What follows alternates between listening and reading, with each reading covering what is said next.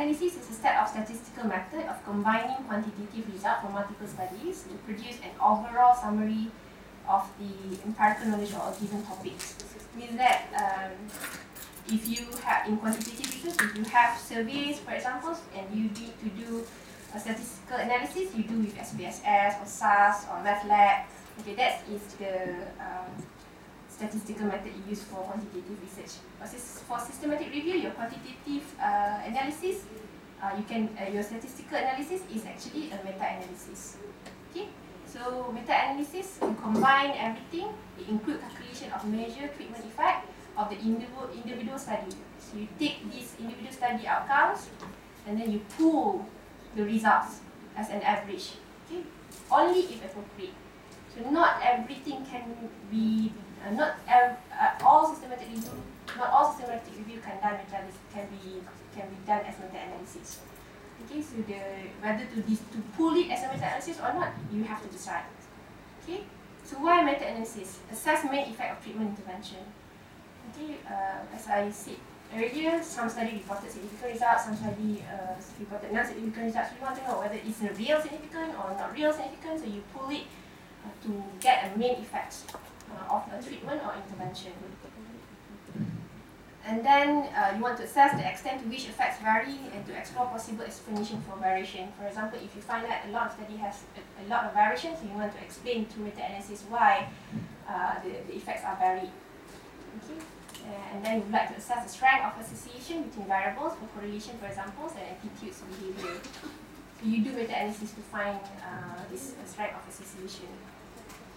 So how do you do meta-analysis? So again, there are several steps on meta-analysis. So I hope that you don't get frustrated seeing this one. okay, first you have to decide whether you want to use fixed effect or random effect size.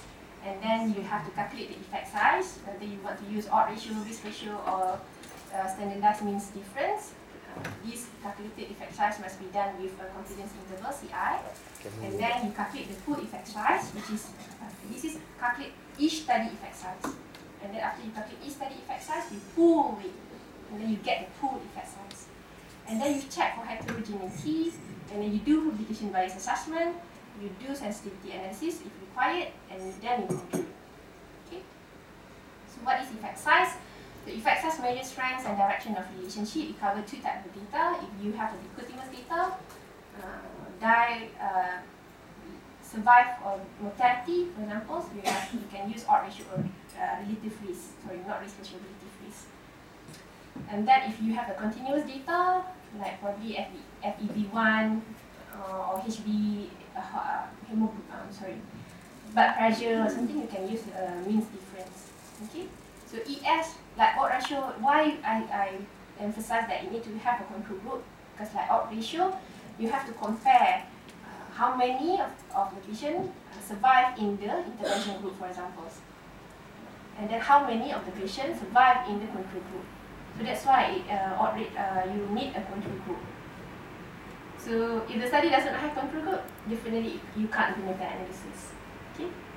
ES usually presented with 95% confidence interval. It, the confidence interval show how precise the parameter estimates uh, the 95% of confidence interval encompass population parameter in 95% of the sample taken. So when the confidence interval cross the null value, which is uh, OR or relative risk of 1, the estimates become non-significant. Smaller CI means greater precision, very precise. Wider CI, wider confidence interval, less precise. So smaller sample size usually cause uh, wider confidence interval. So this is the um, how it presented in the forest plots. This is the effect size. So each, each study, they will plot an effect size. Okay? The three study over here, three effect size, and this is the, the diamond shape is the uh, pool effect size, which is it pool this this effect this study effect size, the three study effect size, and reported is a, as a pool effect size. So the this line is the confidence intervals. So the wider the, this line means that the less precise it is. The smaller the confidence interval means more precise uh, it is. So if this uh, confidence interval cross the line of no effects, this is the line of no effect, OR or RR of 1. So if it's cross this one, means that there are no significant difference between the treatment or control group. Okay, so means all these three studies does not have significant difference between the treatment or control group. Okay. So in meta-analysis, we usually plotted forest plot, this plot, to summarize or to calculate the uh, effects, full effect size. So how do this box was uh, assigned? If you look at here, the, the, box was not in the same size. We have small box, a big box. So how this this big box uh, calculated? So it used inverse variance. So inverse variance are method to measure precisions which is inversely related to the size. So the, the bigger the population in the study, uh, the more weightage we will carry on the uh, pool effect size. Small study will carry small uh, effect size. So it also take into account uh, like the sample size and also within sample heterogeneity. If the more, if the study are more heterogeneous, there's a lot of var var var variables uh, different a lot of uh, report, reporting varieties of uh, different results, so the less that it will be carried in the output effect size. So overall effect size is significant if uh, confidence interval does not span the line of no effect, which is 1. So the overall effect size Z is significant when P is less than 0.05. Okay. This is the how do you present the forest plots. So you have the study over here, Nanas, Cardinal, Park, Fraser, sets, this is all the studies. And then this is the information on the uh, outcomes, which is how many of us uh, in the in the intervention group have success, how many in the control group have success. And this is the total numbers of patients. And then you calculate, this is the weightage, the inverse variance, and then this is the results of ratio and the confidence interval. So it will be plot in this, this forest plots. You see here, Polanas et al., you see there's a significant difference between the usual care and the intervention, which is favors uh, the interventionism. Okay. For this one, there's no significant difference, there's no significant difference, this one no significant difference, this one also no significance. Uh, this, is, this one is significant difference. And then it calculates the full effect size, which is the uh, pool of all the size, uh, this uh, effect size of each study. So it will go here. If you see Z, Z is the overall effect size. Z is less than 0.05 means that there are significant difference in terms of uh, between intervention and usual care, which is which is favor intervention groups rather than the usual. Okay. Okay, this, there's a two main approach in estimating overall effect size. Okay, before you pull this out, there's a two main main things you have to decide. one main thing you have to decide, which is to use random effect or fixed effects. Okay, um, their fixed effects or random effect are just based on different assumptions about the nature of the studies and also the definition of combined effect. Fixed effects can be used uh, if two conditions are met, which is uh, if you believe that all the study included in the analysis are identical or equivalent, same research, same measures, okay, basically are the same. Uh, goal is to compute the common effect size for identified population and not to generalize to other population. Okay, sometimes uh, you can see that they are different in terms of the study designs and everything, but you say that uh, I would really like to compute the pool effect size. But if you compute with uh, compute the study that with a lot of difference, means that you can't generalize it to other population your generalization only uh, fit into the study that has been included only. So, um, why fix? Uh, what's the dif difference between fixed and random effects? Uh, if fixed effects, uh, only sampling errors uh, uh, occurred within the study variation. So you you believe that uh, the difference between study A, study B, study C, study D that we included in the study is only sampling error okay, only sample size, only sampling error are different. But if you if you use random effect, you believe that the variations of the study does not uh, does not just limit to sampling error, but it includes other other things as well. Okay. Such as the different population, different age, uh, you know, different uh, duration of uh, follow-up, for example. Okay. So if you believe that uh, this study have a lot of variations, they are not synonymous, not the same, they're not similar, so we use random effect size. Okay. This is how fixed effect and random effects being calculated. but I don't want to trouble you much by explaining these things, but I just want to show you uh, a fixed effect. It will be just calculated uh, into one. You just consider uh, uh, what is this? Uh, sampling error. Only sampling error will calculated. But this one, it it calculated different error as well, not just sampling error. Okay. So um, usually um, it depends on what you want to, to do. If you want to pull, it's okay to pull, but if it's too variety, the studies are too variety, then you say that the generalization cannot be, the, the, the generalization of the findings are only to the included studies. Okay? And then you have to done to do the heterogeneity test. So heterogeneity test is uh, to test how much variation there are between the studies you, if the study was homogeneous, means that the study's result only differ by sampling error. If it's too heterogeneous, means the study results differ by more than sampling error. There are a lot of variation in the study. For example, the samples are not the same, treatment methods are not the same. We have a lot of between study variabilities. So you can use Q statistics. If the Q statistics, statistics is reported as uh, uh, p-value of less than 0.05, it means that there are significant heterogeneity. It means that the study are very different. So you probably don't want to pull the site, pull effect, uh, don't want to pull the uh, pull effect size, the summary effect size. Okay, you could you could present the forest plot, but do not pull the diamond. Okay, because it's too heterogeneous. It's uh, it's unfair to pull to pull everything as a as a and give give them a pull effect size.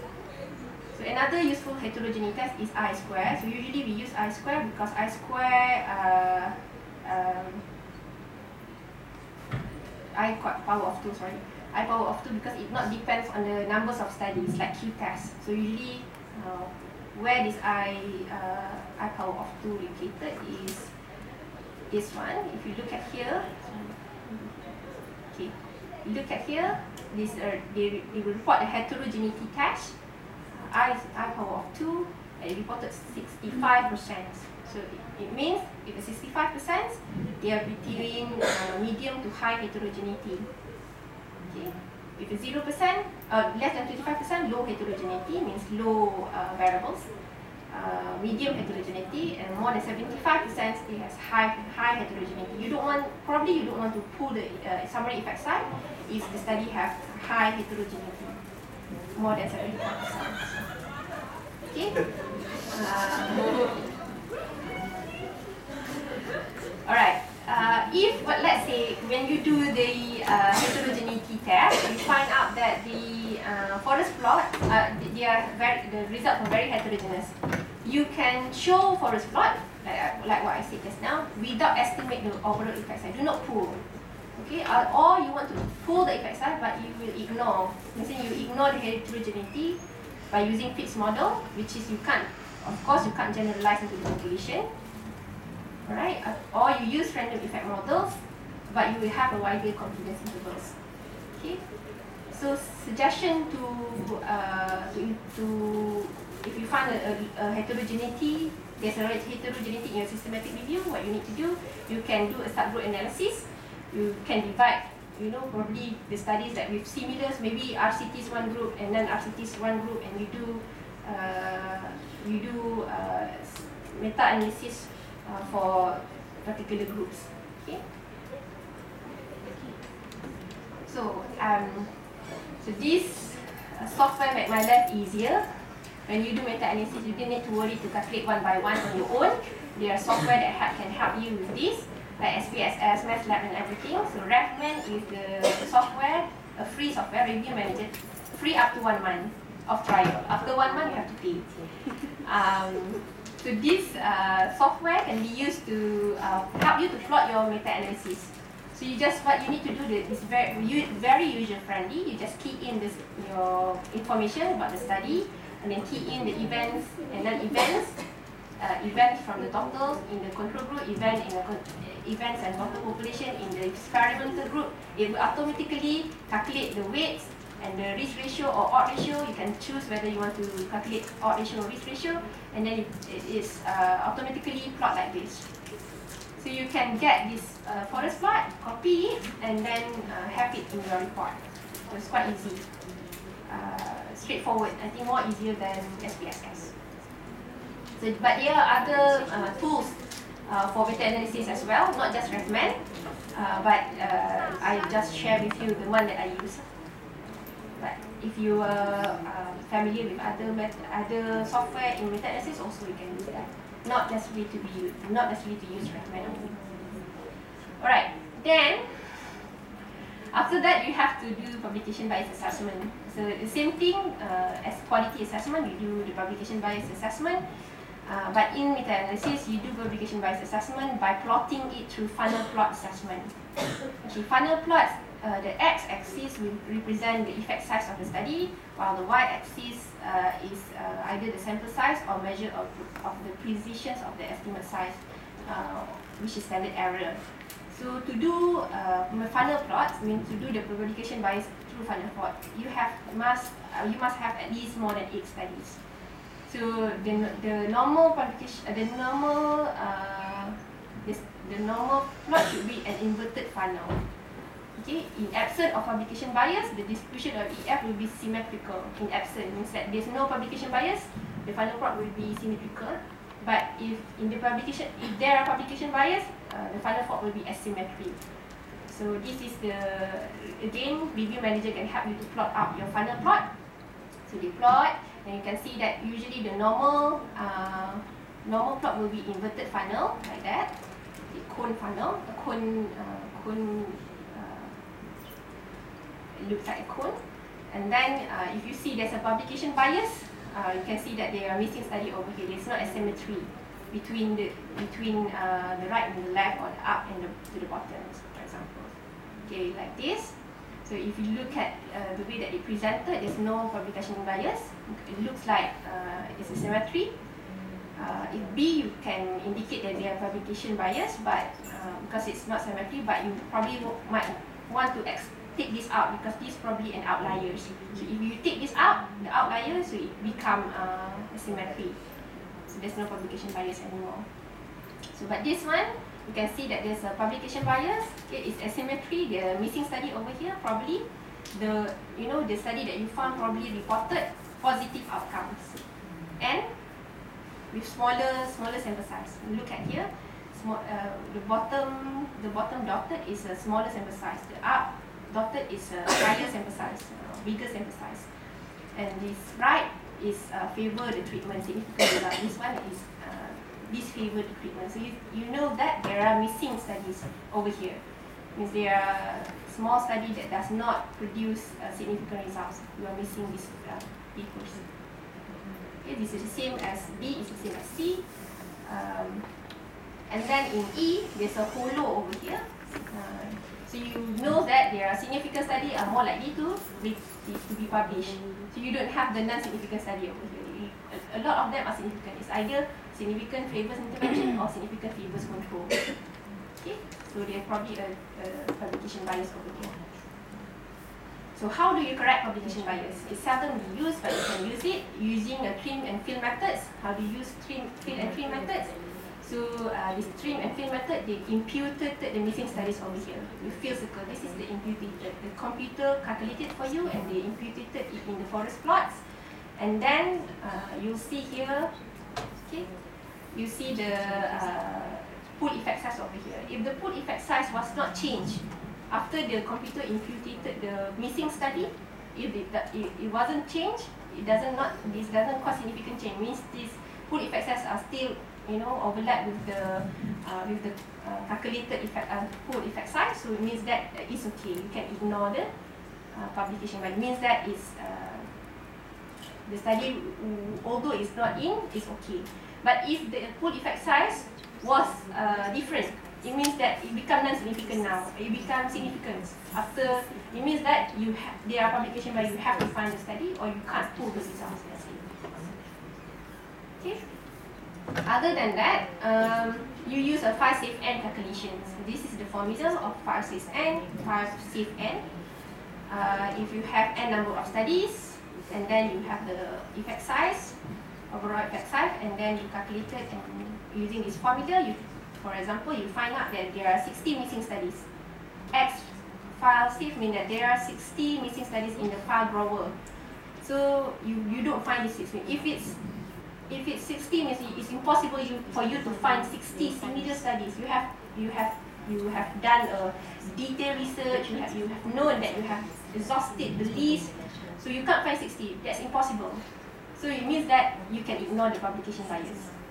But if you find only five study or 10 study, you probably would like to say that there's a publication bias, you can't pull the effect side or you have to find these studies. Okay?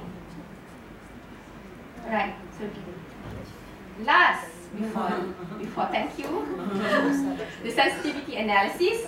Okay it's referred to the assessment decision made during the review process. Okay um sometimes uh, you want to evaluate you know you want to pull the uh, the effect size uh, into its groups. It's unfair to com combine everything in.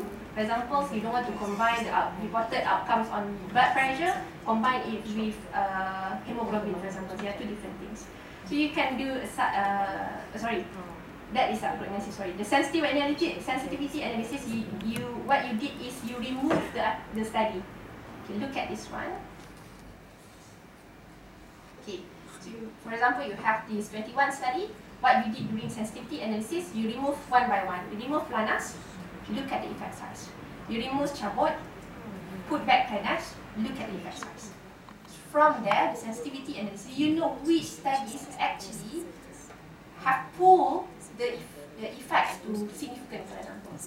So what we did, just, uh, we found that in our study, we found Holland study. Okay, Holland study had, has actually uh, are, the, are the main who actually pull the effect size to be significant, for example, or non-significant, for example. So do you want to elaborate why Holland studies, you want to investigate why Holland studies. So you need to report sensitivity. By doing a sensitivity analysis, we found out by removing Holland study from the from the research, uh, it pulled the effect size to this one. So you have to inform the audience that this is happening. So Holland study has carried a lot of impact to the findings of the uh, analysis. Okay. Other than that, um, sometimes uh, you can do sensitivity analysis by uh, category, category, categorizing it into designs, different designs, uh, as RCT only, okay, or different study characteristics. You probably want to do, uh, you know, uh, on uh, medication review level one only, not level two. You, you can you can divide the groups uh, of the studies into uh, study, its own study characteristics. Okay. Or if, so if you want to drop or, or add some studies, you do the trim and fill method, uh, method you roughly calculate the mean effect size to determine the impact of the studies on overall results. So this is what happening, uh, what I told you just now. When you remove the studies, it will recalculate the effect size. Okay, okay that thank you.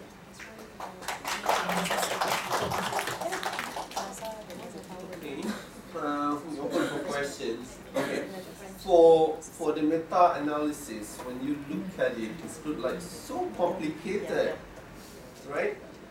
The, the complicated part, you don't have to think about it because it is the uh, software of statistic will take care on that. You know, the most important things in doing uh, meta-analysis is what is the outcome measures for each paper. That's what you require. Meaning that the process is more or less similar to uh, systematic review, only that the paper that you want to go for meta-analysis have to have a numbers as their outcome. Usually in RCT, they will report their final things as odds ratio, relative ratio with 95% CI, confidence interval. That is the value that we want. And also the N numbers for each group that they are comparing to get that numbers. That's it. Was just statistical program. Yes, it is just a statistic program. So the one that, that the relationship is the very basic idea behind the story. you know? So it's actually it's not that tricky because we are not interested on the statistic works, you know, the equation, things like that. But what you require is just you require a paper that have uh, usually RCTs. The important thing is the measured outcome is what. So each paper you are comparing or you take into the meta-analysis have to report the same thing. Meaning, let's say paper by Dr. Adiani also report as odd ratio or on the same disease, on the same things, you know. So odd ratio uh, with confidence interval. And then Dr. Shahida doing this more or less similar study but in Japanese patient, still odd ratio with confidence interval. That's what we require. How do you translate that into non-clinical research? eh? What's that? Non-clinical research. Non-clinical research? No. For for the meta-analysis is quite difficult. I don't think uh, you can do that for non-clinical. Um, I'm sharing I'm sharing some papers, systematic review done in chemistry study. Uh, so there's systematic review of pharmacological properties of oligonucleotides lineage.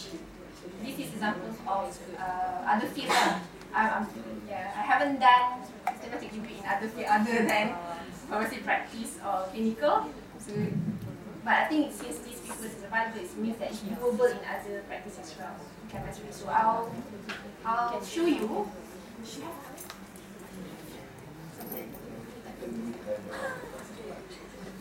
This uh, just want to show you that you can use or Medline to use uh, to do for your search. Jadi kalau you tak tahu nak buat search macam mana, you can go to Ask Librarian on how to do the uh, uh, search. Because you need to combine and and all. This one is need to be practice lah. You tak boleh simply, you need to ask a librarian to help you out. Okay. Thank you. So so systematic review can applied to anybody, but meta-analysis is at this moment I memang untuk uh, practice lah sebab dia require outcome measures ya, to compare to put together lah. Actually usually people have to have odd ratio or relative ratio. The mean difference also is seldom used. It's quite difficult to plot in forest uh, plot. Okay? Right. Uh, so uh, yeah, questions. Stat- Statistical analysis tadi tu yang X tadi buat guna SPSS. No. Uh, SPSS tak ada that that capacity. Ada juga software Google yang tak tak tak tak SPSS. SPSS. No. S SPSS is talking about raw data. Raw data that you analyze. This one is not raw data. It's the results that you combine. So you tak boleh buat. Tak boleh. Ratio Ah, oh, ah, because the old ratio you get it from raw data. But ini ada inverse variance. The inverse variance method you need to use a revenue manager. Because it calculate your sample size, your study, your heterogeneity. Okay. Perempuan sebab air tu macam masa saya pun ada nak start buat projek macam ni kan Dah Okay, uh, some of the students come and see me. They ask me my opinion, but I, because I'm not the expert in the area, supervisors need to know whether there are enough volumes of uh, articles in the area. Supervisor pun. Diri tak confident Tapi sebab ada duit terus buat sesuatu Or what? So what we did is usually I ask the students to go back, look at Google search, you know the particularly for example like uh, chemical compound, look at how many pieces you have. He said that oh I probably have when I Google it I probably found hundreds of articles. Said that yeah, it's. But you have to focus lah. But but this one this is like does not it hasn't have any focus. It was pharmacological pharmacological property. If you look at the look at the results, you present everything like you know um, the MOA, mechanism of action, receptor. Yes. Ah, No, similarly no, like memang tak apa. Dia, dia, dia, the issues is like this. Uh, when you do review, how the search been done? Are you having certain things that you put in? What is the uh, Systematic yes, yes, yeah. you have a clear protocol how to do the search, you have a very standardized uh, what you call it keywords. That is part of a system because system method you have a different different level. Ha. Quality assessment. Dia doesn't have quality assessment. Mac- Macam yang ini, yang ini tak compete dengan uh, Pico lah. Ha. Ha, ini tak Pico lah. Dia tak Dia compete. ada uh, PO je lah. Ha, dia Pico je. The best is Pico lah. Obviously. Tapi tak dapat Pico pun tak apa. Okay. So, thank you very much untuk semua. Tapi lecturer stay sekejap sebab I nak bagi briefing about our database. Student, thank you so much. Come again next time. Hopefully you learn something and produce two papers this year.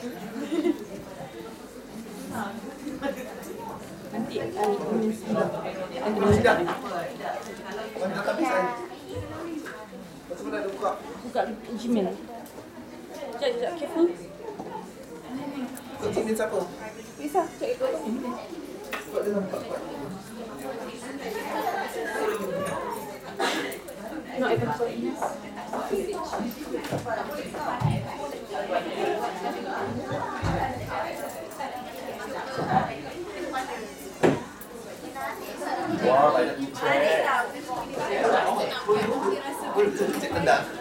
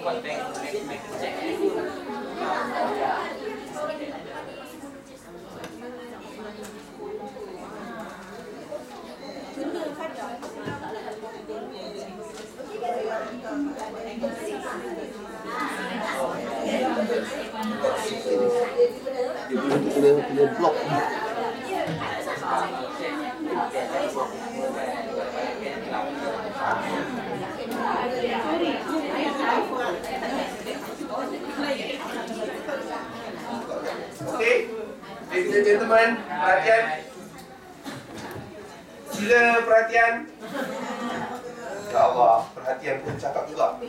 Tak ada orang kisah. Okey. Uh, buka yang yang senarai penerbitan yang berbayang bayang. Okey. So, ladies and gentlemen, uh, kita dah email dokumen kepada semua melalui kita dah share melalui Google Drive. Sesiapa yang tak biasa menggunakan Google Drive, so hari ni kita demonstrate sikit. Ya. Yeah? So open your uh, pergi ke Google saja. Kalau boleh you buka email you senang. You, ha, buka email you. Sebab bila you buka email you, your computer tu dah at the point where it refer to you. Okay? Then klik yang triangle tu, drive. Lepas tu dia akan pergi kat situ. Kemudian press share with me. Ha, bila you klik tu, you akan nampak banyak-banyak folder.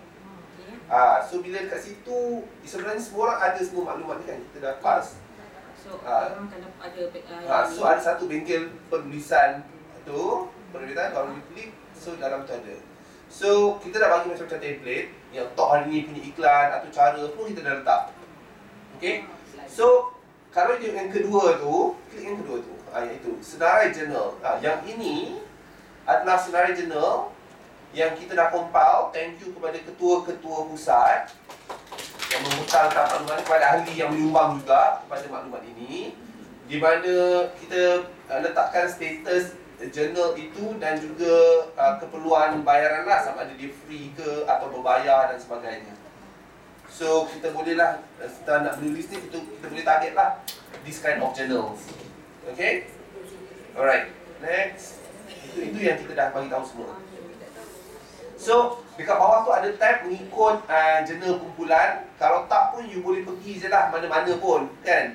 Kalau katakan orang klinikal ada buat kerja-kerja chemistry, nak publish kat chemistry, kat molekul katanya, boleh lah cuba.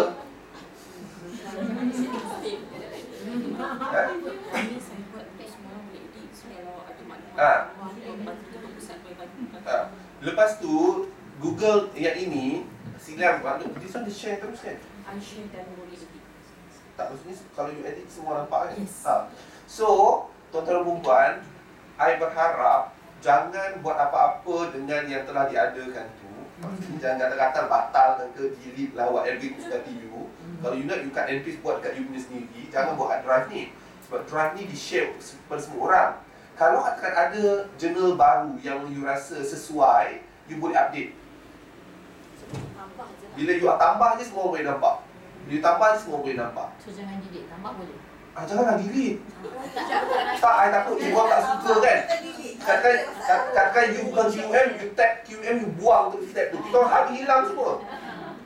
Tak tak apa. Ha. Selain daripada tambah, kalau contoh nak update kan macam contoh ada salah satu jurnal kan rasa dah remove from Scopus. Ha. Tapi update kat situ ke ataupun kena bagi betul-betul pusat ataupun kat Syida je yang update. Sebab kita betul Ha, bagi tahu ketua lah. pusat untuk uh, update betul. Tapi, Yang orang lain tak tak, I tambah. rasa, ah, yelah, ah, ya, betul, update. Kalau nak buang, bagi tahu Syida lah.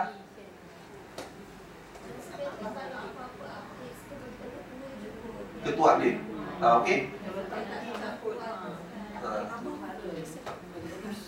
Okay? Tak, kalau menambah pun tak banyak. Dia akan pergi satu, dua, sekali-sekala je per hari-hari nak menambah pun. Kan? Ketua pun ada lagi kerja-kerja lain, menjaga anak dan sebagainya. kan? I consider, I consider. Okay, so itu. Lepas tu, the next one. Ah, yang ini yang I perlukan uh, semua orang kena buat sendiri. Okay, iaitu database penerbitan masing-masing. So, kalau you tengok dekat database ni kita ada database keseluruhan 2016. Kemudian kat tab-tab bawah tu, setiap tab tu ada nama masing-masing tau. Kita ambil contoh nama I lah katakan. Okay, tunggu eh. Ah, macam tu. So, you kena update status of the paper tu lah. Apa yang untuk tahun ni lah. Tiap-tiap bulan tu you kena update. Apa status. Maksudnya lepas tu April pula masuk lah. So, yang dah publish tu ke dah accepted tu dah almost tamat lah kan. Dah tunggu yang accepted tu tunggu nak publish je. So yang revision tu next month apa dia jadi? Adakah masih revision ke? Sampai ke hujung rancangan masih revision tak habis ke atau dah tukar status? So yang ini yang ini kita boleh nampak. Boleh. Ha kan? Ah, Ha, bila you edit tu semua orang boleh nampak. Cuba nak tanya lah macam I kan I dah di reject kan Tapi sebenarnya paper yang sama Tapi I tukar title Update je Update kan tukar title tu. Tukar title dah Ah, you boleh tukar sendiri. Atau tambah lah. baru ke Apa Tak, Tak, tukar. yang baru you boleh tambah yang baru. Kalau you nak tukar kat situ pun you boleh tukar sendiri. Yang penting, ah. clear rejected Lepas tu Ah. buat tajuk lain Buat tajuk lain Sikit nak buat Sebab yang penting out my side ialah ini untuk memantau bahawa memastikan semua orang sedang menjalankan penulisan. You know, itu yang lebih penting. Kalau dia stuck terlalu lama kita akan tanya. Kalau sudah di accepted Tapi dia tidak diterbitkan 2018 Masuk tak? Boleh je accept. Dia tu accepted lah. Accepted tak tahu macam tu je lah macam I'm tu Nampak tak? Accepted tapi publish tahun 2020 ke Sampai dah mati pun sama dia tak tahu Accepted je I pun tak tahu. Sebab publication tu pun I email email email Sebab kena bayar kan. I email dah sebulan dah Macam mana tak bayar tapi tak ada. Tak tak respon pun Dia tak kisah pun bayar tak bayar ke Duit pun tak jadi penting dengan diorang dah. I pun tak tahu apa benda. Ya. Ah, yang ini I pentingkan journal. Ah, sebab yang ini yang akan dikira dalam Maira. Sebab benda-benda lain tu impact dia sangat konik tau, kecil sangat. B file apa? B file? Apa? Ah, okay. Ah, yang ni ah, A file dengan B file ni kalau ingat ah, sebelum-sebelum dia punya banking kan saya letakkan laptop ada A ada B kan? Okey ah, masa tu kan you all ah, buat kat sini yang warna-warna kuning ni yang you pernah buat lah dulu. Ah, ah, so kalau macam nak copy paste boleh copy paste kat sini masukkanlah dekat nama masing-masing. Sebab mungkin ada so you tengoklah you punya dokumen tu mungkin asal ya 2016 mungkin ada paper yang belum dipublishkan lagi mungkin berada kat A file atau B file you check your name kat mana you berada update. Ah, so nanti kalau you nak penuhkan you punya tu, kalau ada paper yang masih dalam penulisan tak tak publish daripada 2016 tu, you boleh cut and paste je lah title tu. Okay? Lepas tu bila you kata macam accepted ke, publish ke, send tu, uh, Rushida akan email you nak bukti. Ya? Ha, setiap kali you tukar status, kalau revision tu tak boleh nak bukti lah. Tapi kalau you kata you submit tu, kita nak bukti. Dan we hope kita ada empat pembuktian lah setahun. Sebab empat submission kan? Ya. Yeah.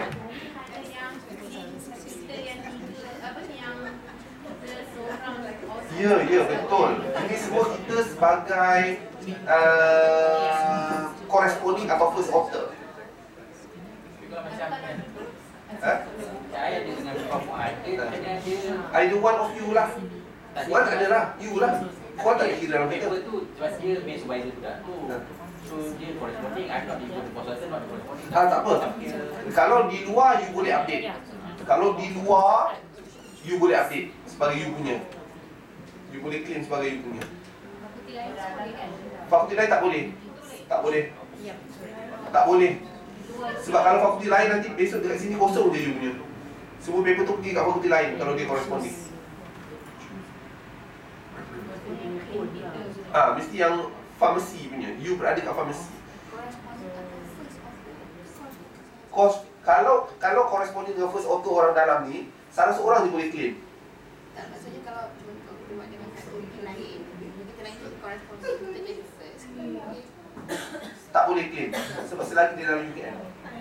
Susah. Sama ada corresponding saja Ha. kalau you punya collaborator tu dalam kalau you bekerja dengan orang luar tak kisahlah Ah. you apa-apa yang masuk kalau Ya, betul. corresponding saja kita Ya.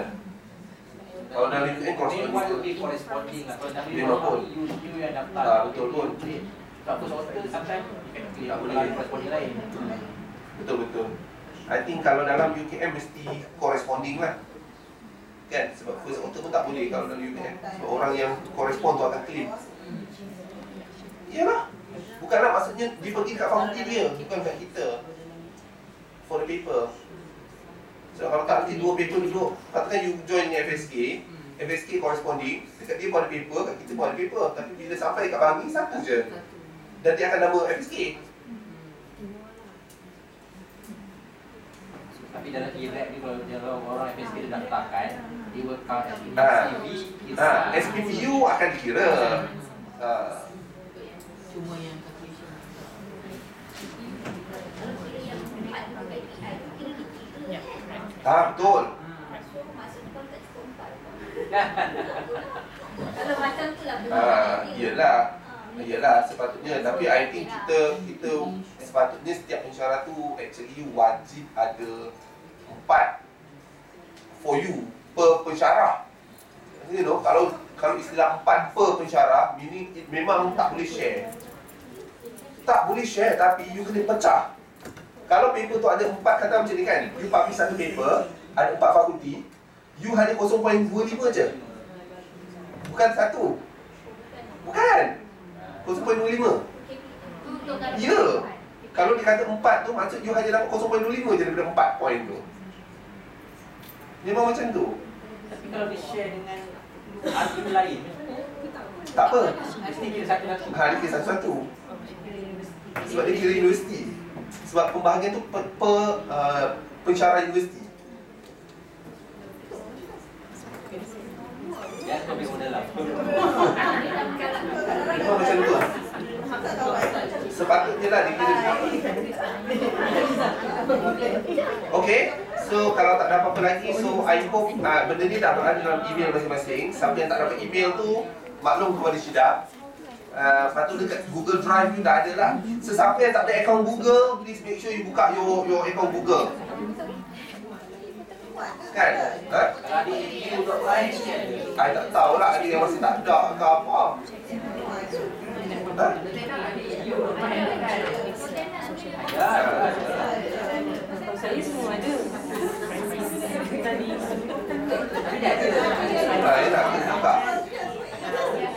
okay. So, tuan-tuan dan puan, itu saja yang uh, kita nak share pagi ni kan.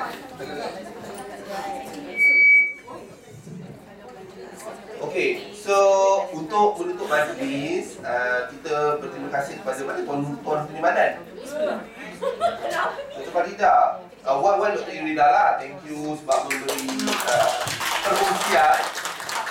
Uh, memang I think setiap kali kalau kita nak uh, nak minta pensyarah kita berkongsi tu jantung mesti jatuh ke lantai sekejap lah. You know. Uh, tapi good training. Tak tak nanti ada tak sesiapa yang yang bercadang untuk untuk menyampaikan any topik